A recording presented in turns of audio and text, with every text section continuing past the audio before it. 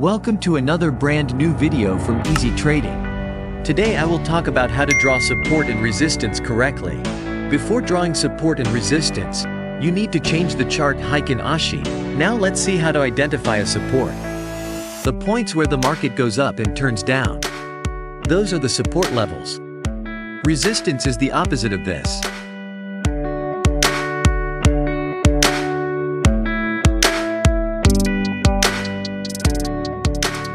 Many people use a single line to draw support and resistance.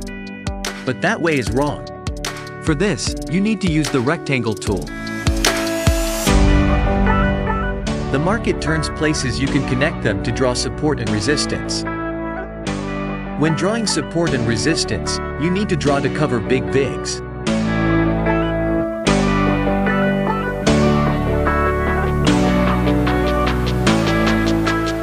Looking at the past of the market has shown us that the market has turned from these places before.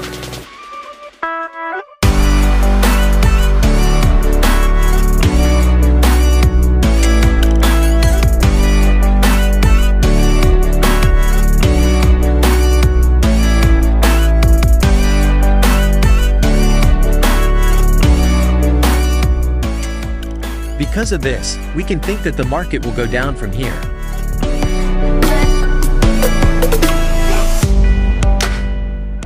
Look at the support I am drawing now.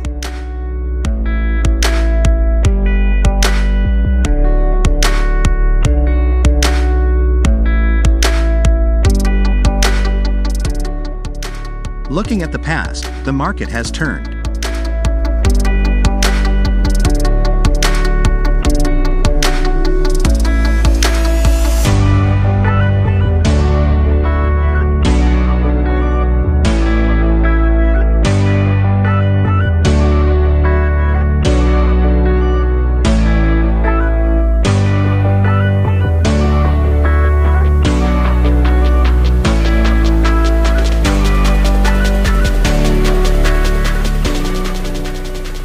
Because of this, we can think that the market will go up from here.